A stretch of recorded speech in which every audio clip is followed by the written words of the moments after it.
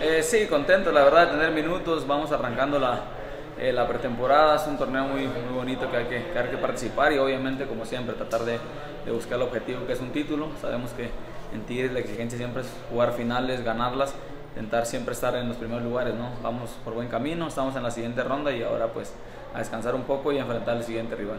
Quizá este resultado o el resultado en estos partidos no es lo primordial, pero duele ser empatado en tiempo de reposición. Sí, la verdad que siempre el funcionamiento es lo más importante, pero sí el, el, último gol que nos meten creo que es para, para trabajarlo, para analizarlo, para, para corregir ese tipo de errores que te pueden costar caro en una liga, una liguilla. Creo que son descuidos que no podemos tener tampoco en este tipo de torneos, pero bueno, quedamos tranquilos de que avanzamos a la siguiente ronda y que, que obviamente tenemos todavía la oportunidad de pelear por el título. ¿Puedes describirnos el gol con el que, con que se empata, un gol tuyo?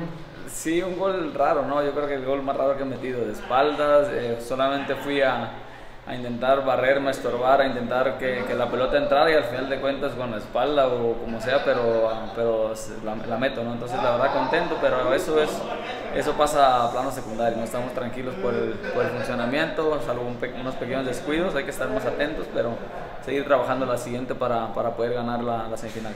¿Qué tan problemática fue la lluvia?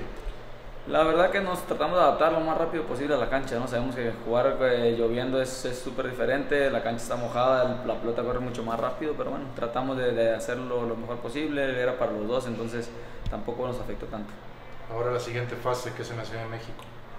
Sí, la verdad que una semifinal muy bonita, creo que nos toca contra Cruz Azul, entonces va a ser un partido muy bueno, es un gran equipo y obviamente trataremos nosotros de avanzar en México, adaptarnos rápido a la altura, a la cancha y, y dar lo mejor, ¿no? Al final de cuentas eh, vamos a buscar pasar la final para, para, pelear por el título. Por último, es Cruz Azul el rival, fue super líder en el torneo que se canceló y es el, el, el invicto perfecto que va en, este, en esta copa.